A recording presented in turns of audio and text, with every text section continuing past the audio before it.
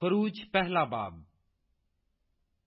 اسرائیل کے بیٹوں کے نام جو اپنے اپنے گھرانے کو لے کر یعقوب کے ساتھ مصر میں آئے، یہ ہیں روبن، شمعون، لاوی، یہودا، اشکار، زبلون، بنیامین، دان نفتالی جد آشر اور سب جانے جو یعقوب کے سلب سے پیدا ہوئیں ستر تھیں، اور یوسف تو مصر میں پہلے ہی سے تھا۔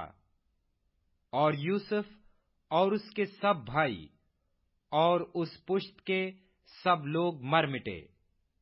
اور اسرائیل کی اولاد برومند اور کثیر التعداد اور فراوان اور نہایت زوراور ہو گئی، اور وہ ملک ان سے بھر گیا۔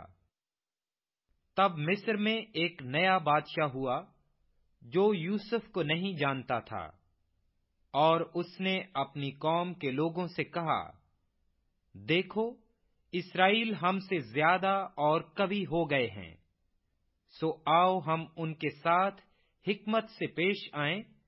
تا نہ ہو کہ جب وہ اور زیادہ ہو جائیں اور اس وقت جنگ چھڑ جائے، تو پھر وہ ہمارے دشمنوں سے مل کر ہم سے لڑیں اور ملک سے نکل جائیں۔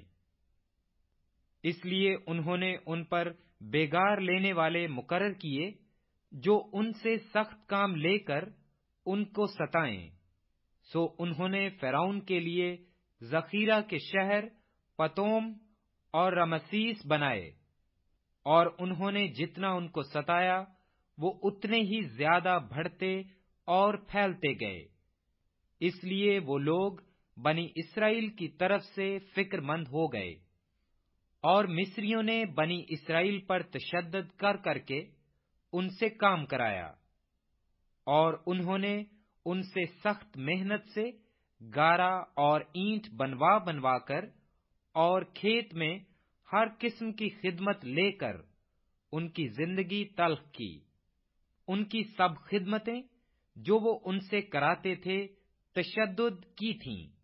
تب مصر کے بادشاہ نے عبرانی دائیوں سے، جن میں ایک کا نام سفرا اور دوسری کا نام فوہا تھا، باتیں کی اور کہا کہ جب عبرانی عورتوں کے تم بچہ جناؤ اور ان کو پتھر کی بیٹھکوں پر بیٹھی دیکھو، تو اگر بیٹا ہو تو اسے مار ڈالنا، اور اگر بیٹی ہو تو وہ جیتی رہے۔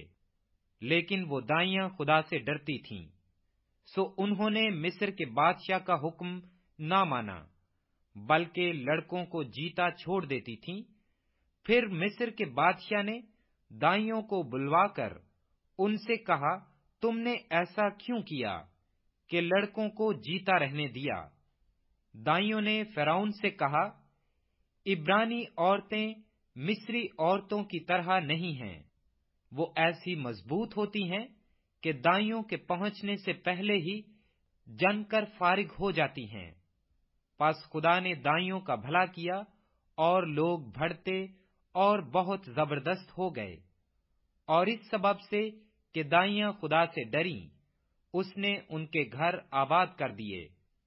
اور فیراؤن نے اپنی قوم کے سب لوگوں کو تاکیدن کہا کہ ان میں جو بیٹا پیدا ہو تم اسے دریا میں ڈال دینا اور جو بیٹی ہو اسے جیتی چھوڑنا۔